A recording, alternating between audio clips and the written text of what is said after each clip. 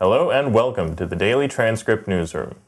Stocks were mixed after Standard & Poor's expanded its threat of a European downgrade. In mid-afternoon trading, the Dow Jones rose 34 points, the S&P 500 rose 1 point, and the Nasdaq fell 6 points.